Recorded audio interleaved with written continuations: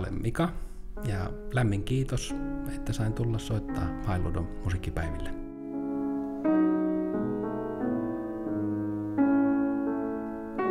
Nyt tuossa eilisillalla sain tutustua myös tuohon kirkossa olevaan soittimeen ja se on kerta kaikki se hieno yksilö. Se on valtavan vahva luonteinen ja, ja sen koko soittimen niin karakteri on, on hyvin persoonallinen ensimmäinen tuntuma siitä, jopa niin kuin säikähdin, että tulekaan tästä yhtään mitään, kun se tuntui se soitin niin kuin yhteistyö haluttomalta, hyvin niin kuin uppiniskaselta jollain tavalla. Kiehtova, mutta siihen oli hurjan vaikea löytää yhteyttä. Kun se yhteys sen soittimen kanssa löytyy, ja sitten tulee se mielikuva, että nyt on taivas auki ja homma on niin kuin selkeä, niin yhtäkkiä se jostain kumman syystä menee se yhteys poikki. Ja sitten saa ikään kuin aloittaa sen lämmittelyn taas niin kuin uudestaan. Ja ja se, että se yhteys menee poikki, niin se on ihan ok, mutta se ei ole sitten taas ok, että ei sille tee yhtään mitään. Että se täytyy se yhteys löytää takaisin siihen. Ja mulle tuossa niin pianonsoitossa kaiken kaikkiaan, niin se on hirveän hyvä niin kuin elämän oppiaine.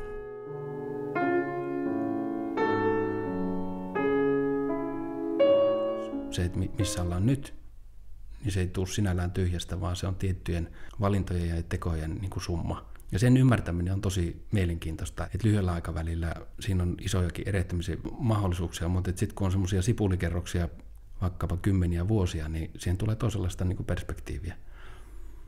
Ja mä oon pianoa kaiken kaikkiaan paukuttanut yli 70 000 tuntia. Aloitin pianosoiton, kun olin kahdeksanvuotias. Äiti on kampaaja ja isä putkiasentaja, nyt on molemmat eläkkeellä.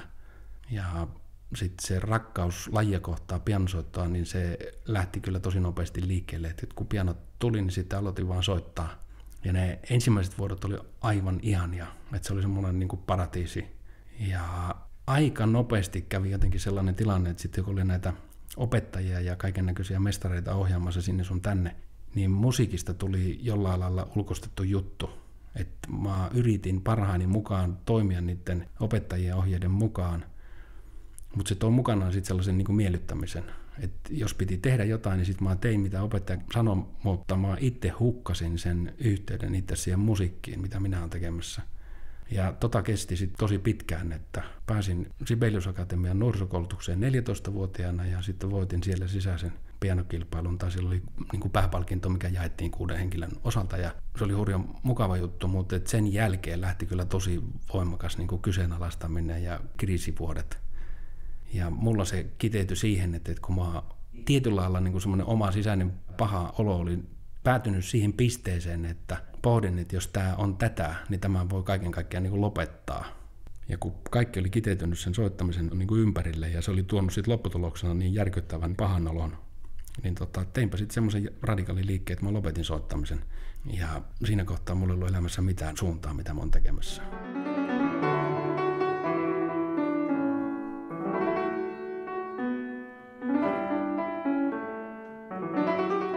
Tuossa 2008 niin alkoi tulla niitä olotiloja, että, että olisi kiva kokeilla itse sitä musiikkisuhdetta pianon kautta uudestaan. Ja sitten lähdin pikkuhiljaa kokeilemaan sitä ja nyt on soittanut säännöllisesti pari-kolme tuntia päivässä. Et kaikki, mikä tukee sitä intentiota tai sitä tavoitetta, niin se mä tuon tekemään ja mikä ei tue sitä, niin mä karsin heti pois. Ja se on tuntunut hurjan hyvältä. Ja tällä hetkellä nyt on ollut sellainen vaihe tuossa sitten pidempääkin, että mä oon soittanut pelkästään Bachin ja Schubertin musiikkia. Niiden parissa on tosi hyvä viettää aikaa.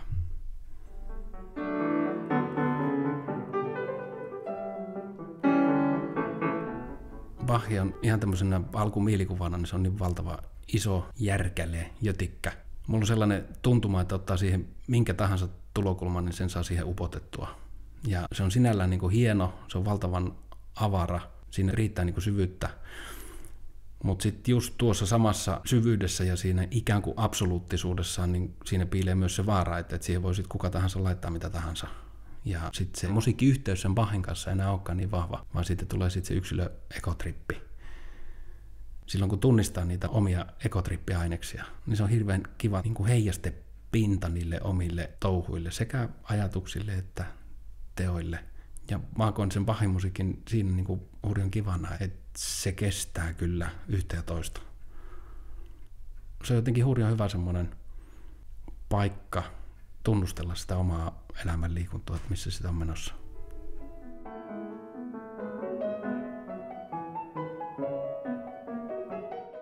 Ymmärtääkseni Arnold Schönberg on valtava hieno säveltäjä ja kehitti myös sitten innovaation, luovuuden manifestin ylipäätään tästä 12 sävelijärjestelmästä kollegoiden kanssa ja tehnyt valtavan hienoja teoksia myös romantiikan kauden osalta, että suverenisti hallinnut sen tyylin myös. Eli jossain tulokulmassa niin kuin erittäin luova tyyppi. Ja ymmärtääkseni siviiliammatiltaan kirjanpitäjä, mikä tarkoittaa mun maailmankuvassa sitä, että, että sillä kaverilla oli aika hyvin ihan tämmöinen päiväkuri hanskassa. Kun tekee kurialaisesti jotain, niin sitten myös sen toisella puolella on muita mahdollisuuksia. Ja näiden niin se yhdistelmä on ihan hirvittävän mielenkiintoinen asia. Kaos ja luovuus, niin siinä on iso väärinkäsitys, mutta sitten taas oikeassa mittakaavassa niin kuri ja luovuus tai kuri ja vapaus, niin ne ruokkii toisiaan.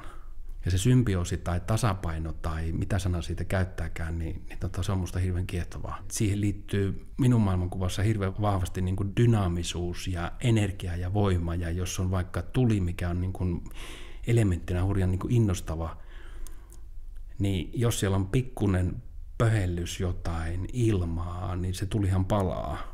Mutta jos sitä ilmaa on vähän, niin se tuli myös palaa vähän. Mutta sitten jos on isoja karstoja, mitä täytyy tulen polttaa, niin se vaatii ihan toisella tavalla sitä tulienergiaa. Ja se, että sitä tulienergiaa halutaan lisää, niin se ei synny tyhjästä, vaan siihen tarvitaan sen kipinän lisäksi nimenomaan sitä ilmaa. Ja tilaa ympärillä sopivasti niin kuin tukee maaelementti. Ja se dynaaminen tasapaino on noissa niin kuin hirveän kiehtova. Että mitä enemmän halutaan tulta, niin sen enemmän pitää olla ilmaa ja se pitää olla tasapainossa. Ja ne molemmat elementit pääsee toimimaan siinä omassa elementissään. Kokonaisuuden ymmärtäminen pelkästään sen tulen kautta, niin siihen voi käyttää ikänsä, mutta että se ei auta yhtään mitään. Ne rajat tulee tosi nopeasti vastaan. Ja luovuuden osalta just tämä sama tilanne, että, että mitä se luovuus itsessään tarkoittaa, niin me ei pelkästään siitä luovuus tulokulmasta niin päästä edes jäljelle.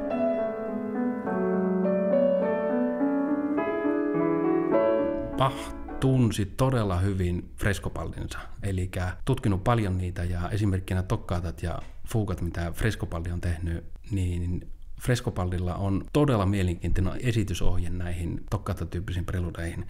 Ja ymmärtääkseni sanasta sanaa suomen kielelle väännettynä, niin se on mahdollisimman vapaasti. Ja mikä on tosi jännä, että siinä ei ole lainkaan määreitä siihen, että mitä vapautta se on. Ja sitten rakenteesta, jos siirtää suoraan tämän freskopallin ajatuksen näihin pahin tokkata-tyyppisiin preludi, fuukateoksiin, niin jos sillä preludilla lähtee leikki sillä ajatuksella, että, se on mahdollisimman vapaa, ja sitten lähtee haastamaan niitä omia, omia rajoja, että, mihin sitä vapautta uskaltaa siinä laittaa. Ja jos sen aluksi vaikka rajaa sitten siinä omassa harjoituksessa rytmiikkaan ja antaa sen rytmiikan kudoksen kehittyä ja kuuntelee sitä kehittymistä ja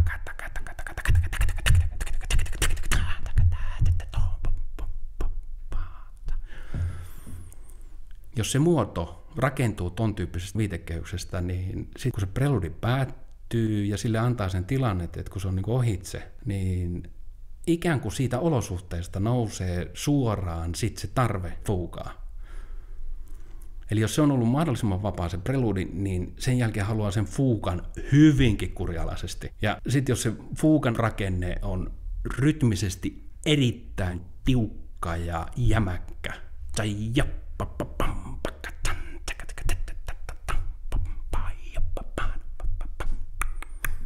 ja se ei yhtään siinä periksi. Ja sitten taas se leikkisyys ja iloisuus on molemmissa olemassa, mutta se vaan rakenteellisesti manifestoituu, eli muotoutuu eri tavalla. Niin niistä tulee tosi hieno kokonaisuus, mikä ei ole joko tai, vaan se on just sekä että.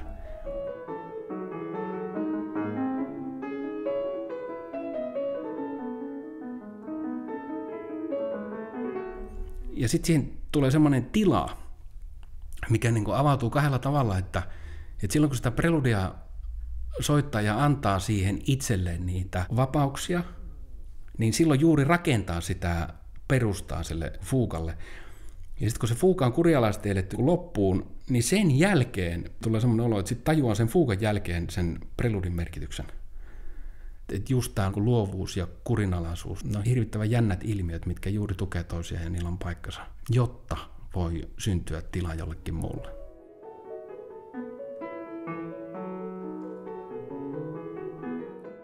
Toi, mikä, mikä on hirveän tärkeä juttu, tai itse on tosi tärkeäksi, niin on inspiroituminen, innostuminen jostain vain sen itsensä vuoksi. Ja mulla on jotenkin sellainen olo, että se pointti ei ole lainkaan siinä kohteessa. Et on se niinku sukan kutomista tai villapaidan tekemistä tai talon rakentamista. Se asia voi olla ihan mikä tahansa, mutta se vilpitön kiinnostus sitä asiaa itsensä kohtaan ilman muita vaikutteita, niin se on ihan mielettömän hieno mahdollisuus kasvaa. Ja se yhteyden luominen ja, ja sen vaaliminen on ihan hirvittävän tärkeä asia. Ja siinä se innostus tai inspiroituminen, se on se palava liekki. Se on just se kipinä, mikä saa sen prosessin liikkeelle, ja sitä pitää myös sit suojella.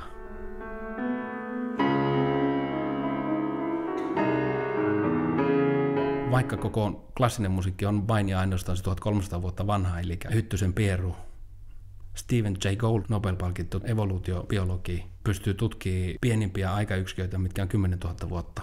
Ja toi on nyt päässyt sitten sen reilu 10 prosenttia siitä liikkeelle. Eli tuossa mittakaavassa niin meillä ei ole ymmärrystä siitä, että mitä tulee klassisen musiikille tapahtumaan tulevaisuudessa. Mä koen sen tietyllä lailla huolena, koska siinä ei vaan yksinkertaisesti ole sen tyyppistä aikoperspektiiviä, että me tunnistettaisiin niitä asioita, mitkä on oleellisia, mitkä ei. Että meillä on monenlaisia villejä veikkauksia siitä, mutta että mä itse koen sen huikean hienona innovaationa. Ja mikä sen tekee palaavaksi ja mikä on siinä se tuli-elementti, se voi olla ihan jotain muuta kuin pelkästään se innovaatio. Että harmonia keksintönä huikea sellainen, mutta se pitää myös paljon muuta sisällään. Ja sen tutkiminen on kertakaikkisen mielenkiintoista. Ja pianosoitto on siihen hirveän hyvä tulokulma, mutta sitten siinä on ne omat vaaransa, että jos siinä erikoistuu liian pitkälle, niin sitten se yhteys just siihen alkuvoimaan katoaa.